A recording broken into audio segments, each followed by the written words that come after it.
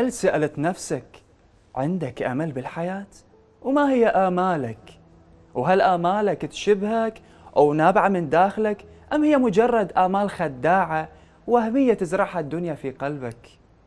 من اللطيف أنه نقرأ القصص لأن فيها تجارب حقيقية مفيدة كان هناك رجل اسمه نوف البكالي هذا أحد أصحاب أمير المؤمنين عليه السلام يقول رأيت أمير المؤمنين صلوات الله عليه موليا مبادرا.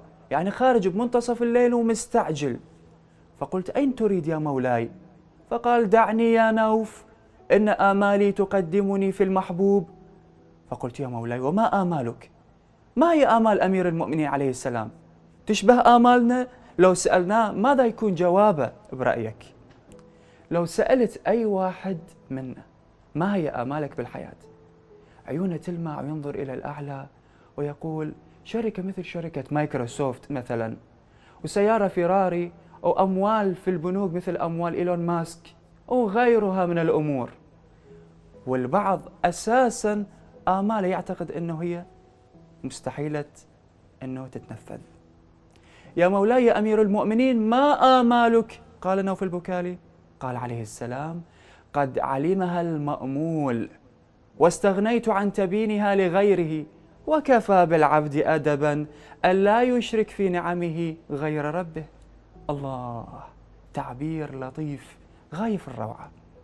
نوف رأى تفكير أمير المؤمنين عليه السلام عميق جدا.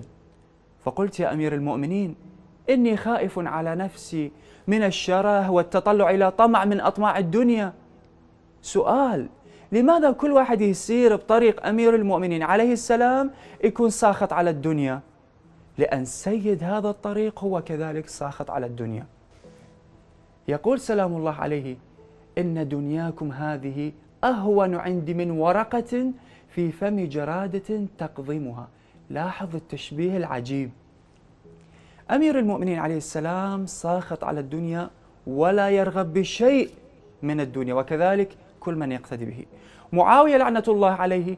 أخذ الدنيا قاتل أمير المؤمنين عليه السلام وقتل أصحابه من أجل الدنيا. وبنى الخضراء وقصورها. وماذا بعد؟ انتهت بالنسبة له مات. لم تبقى القصور ولا جيوش ولا حرير ولا شيء.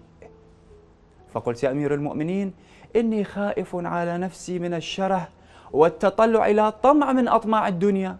فقال لي وأين أنت من عصمة الخائفين وكهف العارفين؟ فقلت دلني عليه.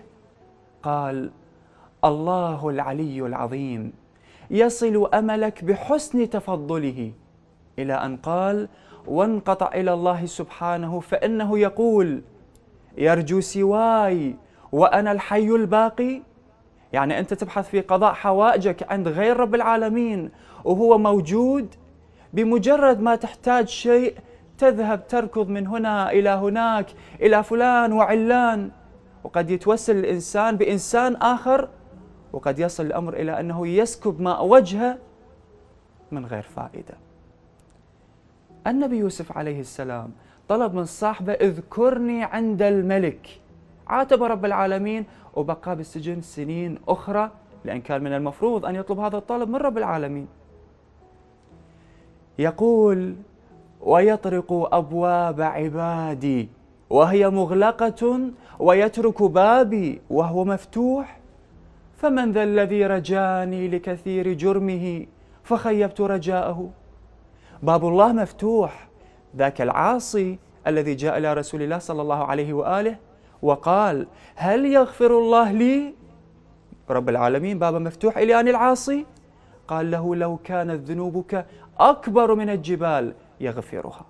قال بل أكبر. قال لو كانت ذنوبك أكبر من السماوات والأرض يغفرها. قال بل أكبر.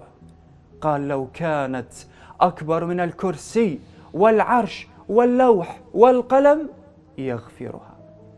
يكفي انه تتوجه إلى رب العالمين بصدق نية. كتب على نفسه الرحمة لكن يريد من عندك توجه حقيقي. تتوجه إلى رب العالمين وأنت منكسر. ذليل تتذلل كم شخص في عمرك تذللت إله حتى يقضي حاجتك ولما يصل الأمر إلى رب العالمين لا تتذلل. رب العالمين يريد يسمع صوتك وأنت تناجيه. يرى دموع عينيك. يا عدتي في كربتي ويا صاحبي في شدتي. ويا وليي في نعمتي ويا غايتي في رغبتي. أنت الساتر عورتي والمؤمن روعتي والمقيل عثرتي. فاغفر خطيئتي. تذكر إن الله غيور لا يقبل أن تمد يديك إلى غيره وهو المقتدر الكريم.